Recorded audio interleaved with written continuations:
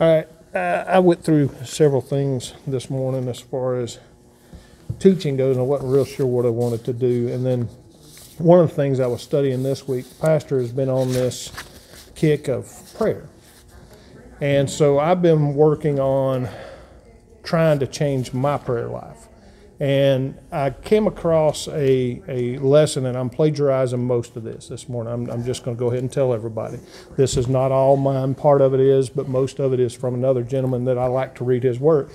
And it's talking about radical prayers.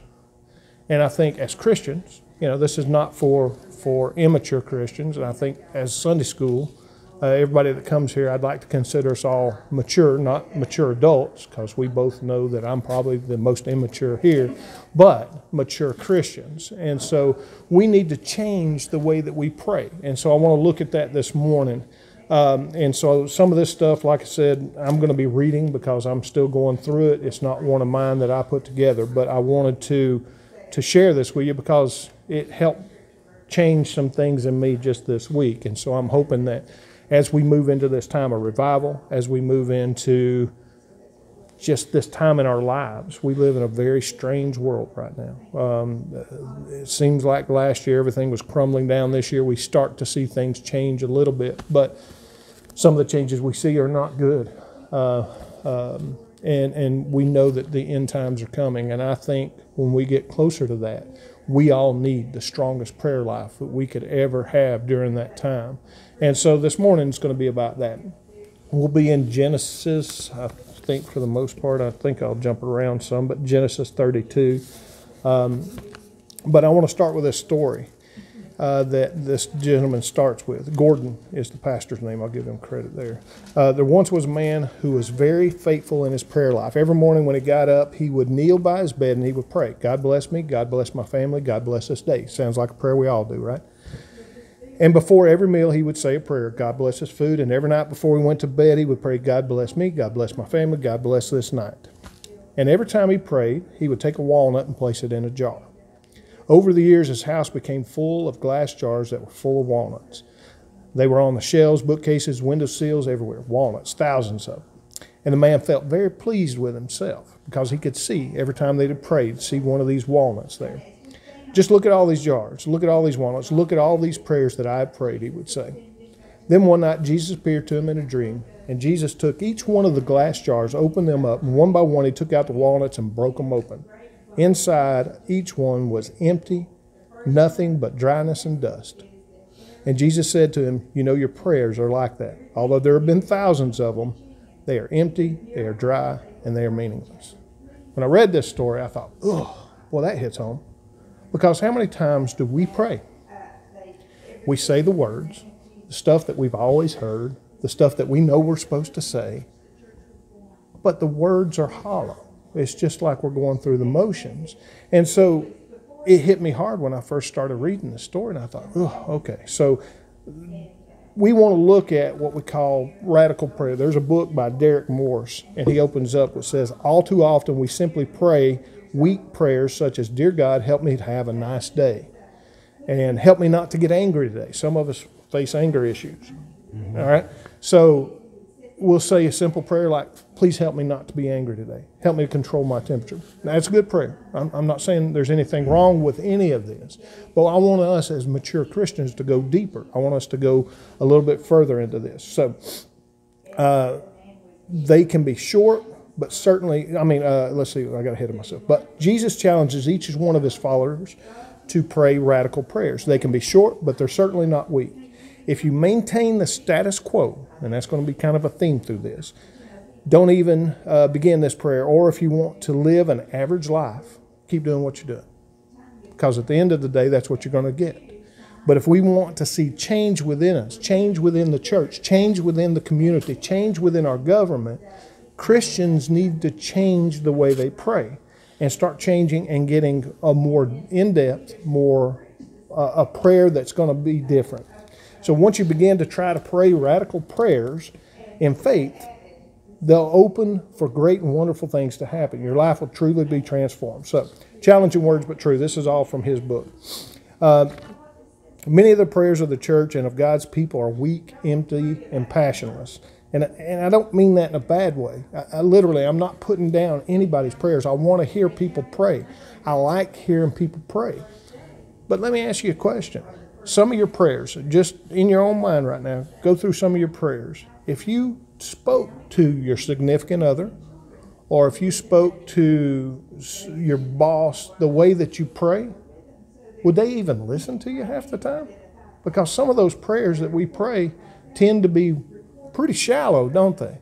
I mean, I'm sorry, but I can tell you some of my prayers. Uh, if I came up to you and started talking to you and, and was talking with the depth that I have with some of my prayers, you'd be going, please God, tell him to shut up so I can move on. Because they would mean nothing. And so we need to change that. We need to realize that every single time we pray, we're praying to the God of the universe, the God who keeps all this going. And I think we miss that a lot of times. We forget who we're speaking to. So, are you a prayer? Are you a wrestler? Are you an interceder? We need a, to be a church. We need to be a people who are serious about prayer. We are serious about grappling with God over bigger issues of the world. We need to be a church that starts praying some radical prayers. So, what is a radical prayer? The word radical comes from the Latin radix, which means root. Now, I didn't understand this. I didn't know what this meant. It's one of those things. This is this is me where I was doing some study. That means radical prayer goes straight to the root of the issue. I like that. That's what we're trying to do, right? When you pray, if you're just saying, God, give me a good day, I'm done. I'm out of here. Well, when God hears that, what's He going to say? I mean, give you a good day? What's a good day? What are you asking for? What are you looking for in your day? So, radical prayer refuses to let us stay on the fringes of life's great issues, floating around on the surface, so to speak, never getting too involved in the things that really matter. It dares to believe that things can be different. Now, this is important. Radical prayers enables God. Listen to this. Radical prayers enables God to change the world through you. Think about that. Most of the time when we pray, we're praying for us, which is good. We're praying for the things in our life which is important to us. God wants us to. That's what your kids come to you. You want to help them, right? That's what. But as Christians, one step further, we're supposed to be changing the world, right? This world outside is dying and going to hell. If we don't start praying more radically about what we can do in our lives to change this world, this world has no hope. Like I said last week or week before last or whenever it was last time they have no hope without us. And so we need to start praying radically. So I want to look at the life of Jacob here in uh, Genesis. But before we start, I want to share with you three more uh, things this morning about radical prayer uh, that came come straight from this story of Jacob. Now, all of you have heard this story. This is not going to be anything new to you. Uh, Jacob had not seen his brother Esau in a very long time, right? So um, you may remember the story years ago. He had tricked his brother. Remember, he tricked him out of his birthright. I don't know if you guys remember the story. It's a great story. Go back and read it. But he had tricked his brother Esau out of his birthright. Now he's been in hiding for several years. He's been staying away from him because he knows his brothers told him he's going to kill him the next time he sees him. So he's staying as clear away from, from Esau as he can because he's scared of him. Uh, Jacob's mother found out about Esau's plan and she arranged for Jacob to live with relatives far away. Uh, now, after many years had gone, God tells Jacob to go back home. But he's terrified that his brother Esau still wants to kill him. Now, this is many years has happened through all this time. So he comes to uh, the Jabbok River, and crossing it means crossing into Esau's territory. So before the crossing, uh, the river, Jacob decides that he would try to appease his brother. I don't know if you guys remember the story. So what he does is, and I think it's very cowardly, but this is my take on it too. He decides he's going to send over some gifts. He sends servants ahead. Now you got to realize if Esau is truly angry with him, he's sending servants over. He's sending his family over. He's sending his wife and kids over, in hopes that this is going to appease Esau. What if it hadn't?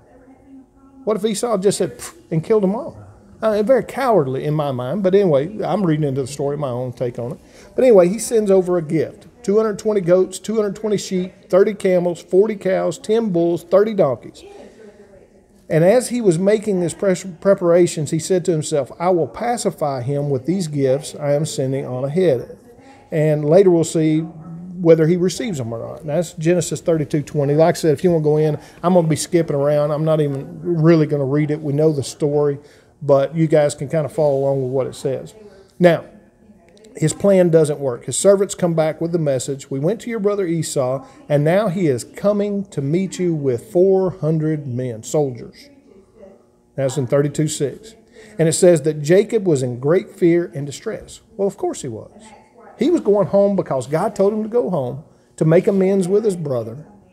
And now he sent over all these gifts saying, Brother, please forgive me.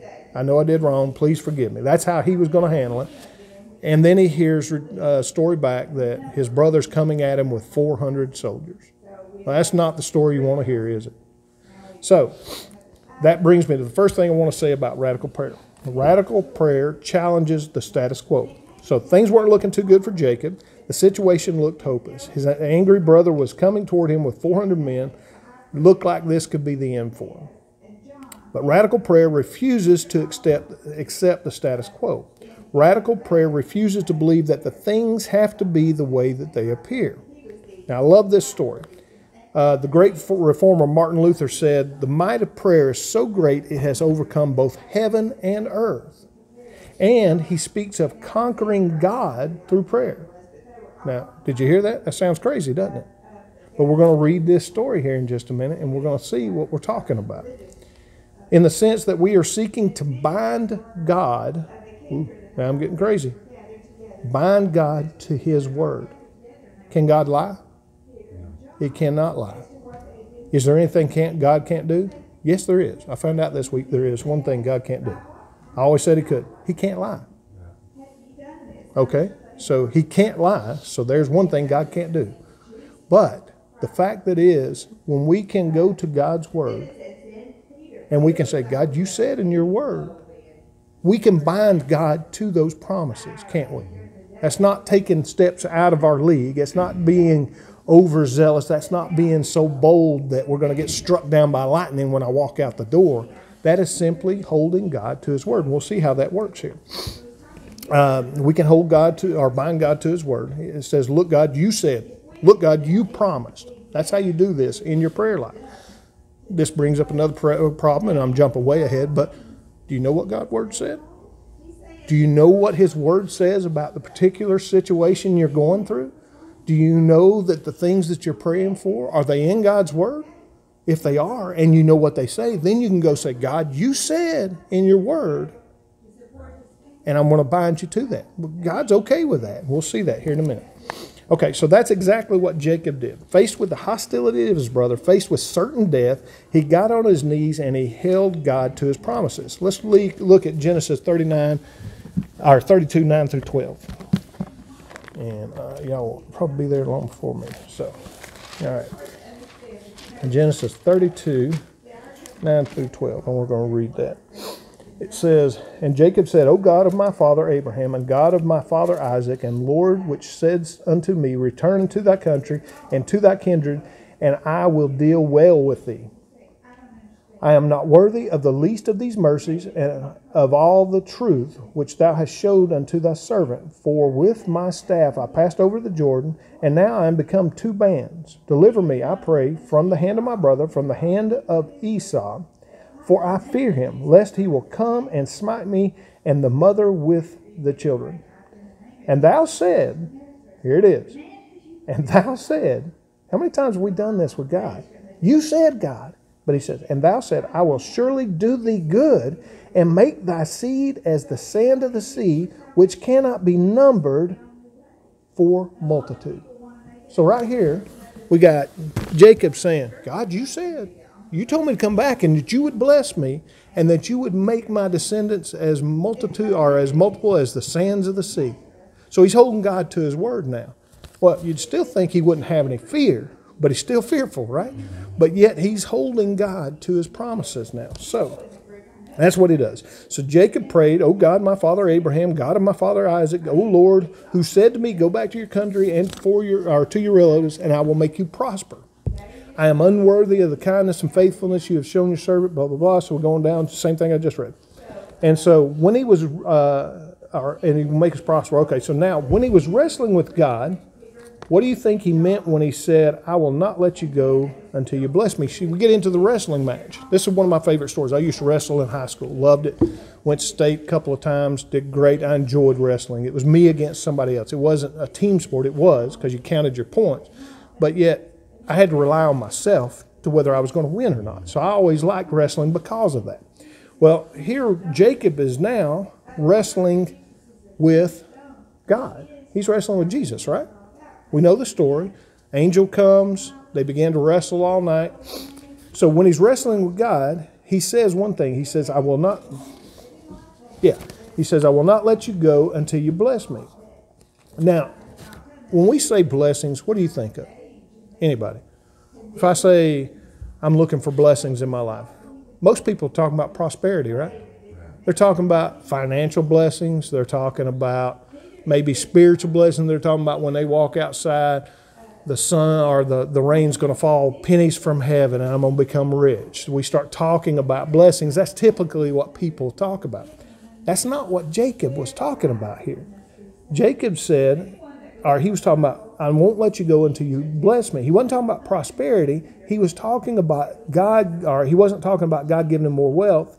Anyone who can give away 220 goats, 220 sheep, 30 camels, 40 cows, 10 bulls, 30 donkeys has got plenty of wealth. All right, he's he's wealthy. He's he's doing good for himself. I mean, I got one jet. Oh no, wait, no, that's I'm sorry, no. but no, so so he was wealthy. That wasn't a problem. Uh, Jacob wants to be blessed by being reconciled with his brother. That's what he was praying for. Simple reconciliation. He says, Look, God, you said, look, God, you promised, and now I'm going to let, or I'm not going to let you go until it happens.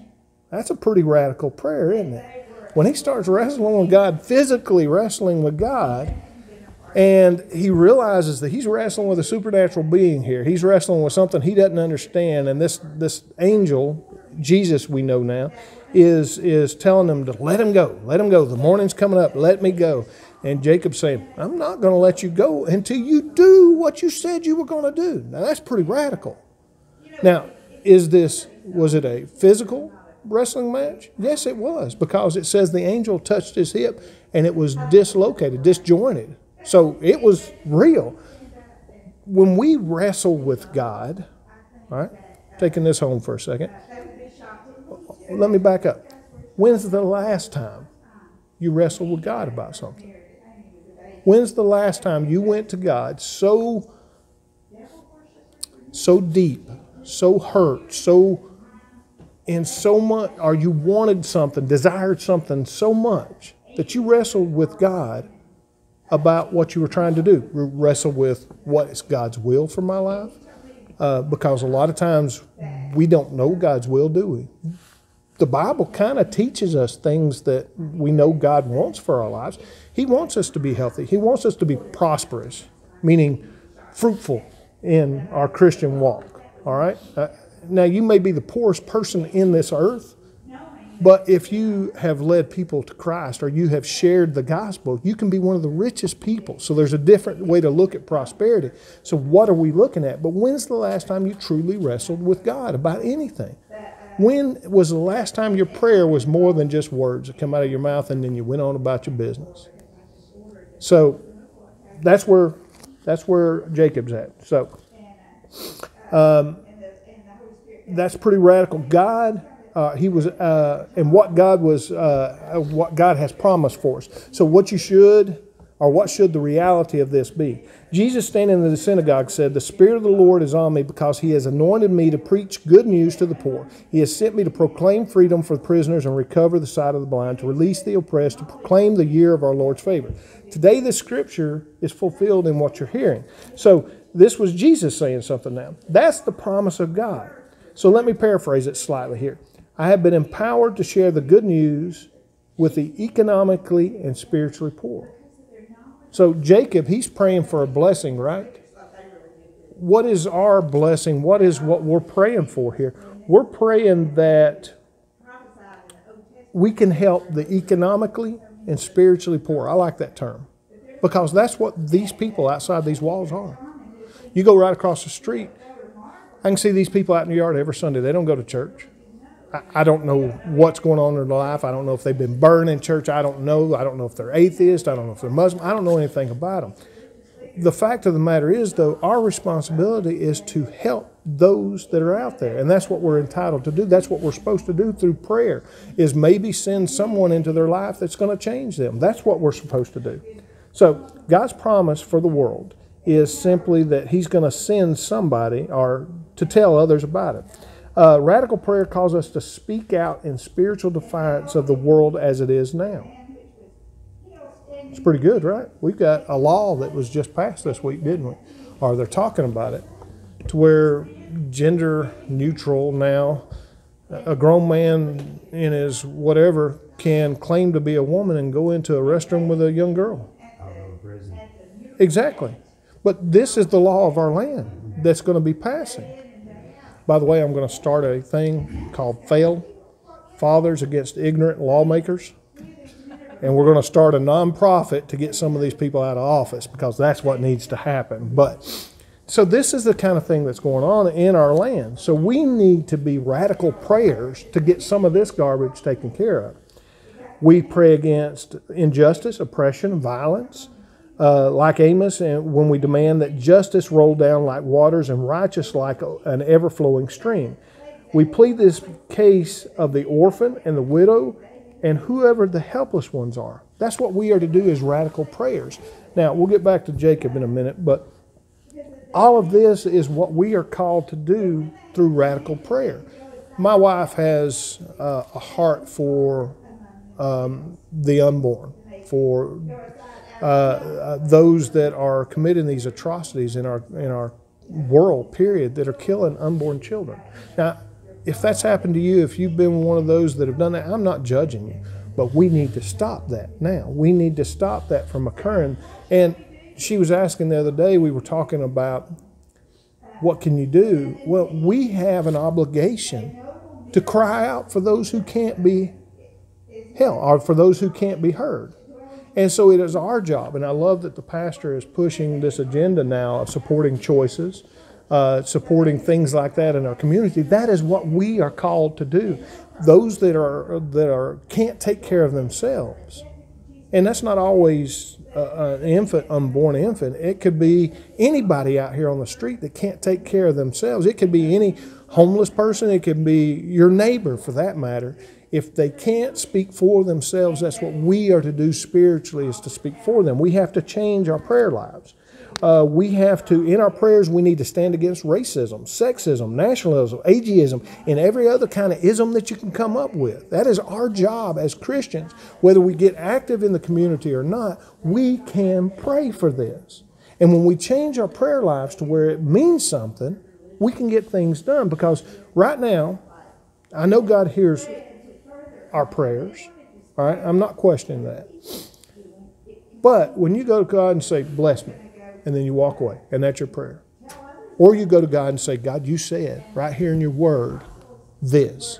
You told me in your word to, to stand up for those unborn children that couldn't stand up for themselves. You told me in your word to do that. That's what I'm doing right now. Lord, help me to figure out a way to help you do this thing.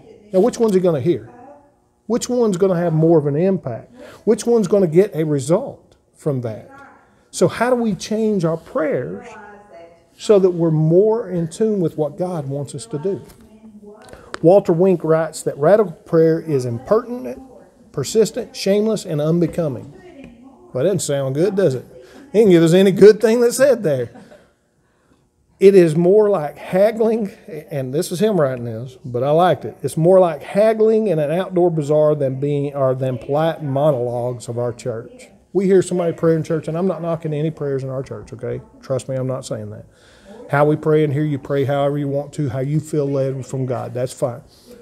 But when we become that agonizer in prayer, when you hear, and, and you've all heard them, you've all heard those prayers at one time in your life in a church somewhere, in a prayer setting to where you heard somebody talking to God who was agonizing with God about wanting to see something changed.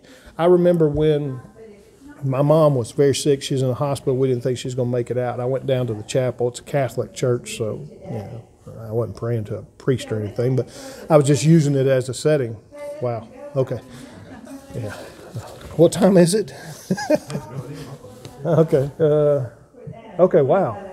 Okay. Well, I'm not even getting halfway through this. So, uh, but anyway, I began to pray, and I believe this with all my heart. Uh, they were telling us that she had an aneurysm. It didn't look good. She wasn't going to leave the hospital. Man, I got on my knees in that little chapel there at Memorial Hospital, and I'm talking, couldn't cry anymore. I was out of tears. I was prostrate on the floor, prostrate. Thank you, thank you. It wasn't prostate. Yeah, I was probably examined there, but I was at least I knew I was wrong. Uh, but anyway, I literally was on my hands and knees on this chapel, and I was crying out to God. God, give me more time. God, give me more time with my mom. Help her somehow. You've got to do something. For an hour and a half, I was just bellowing, crying out to God. I believe He answered my prayer because she went home from that. We got to spend another about a year uh, after that with my mom.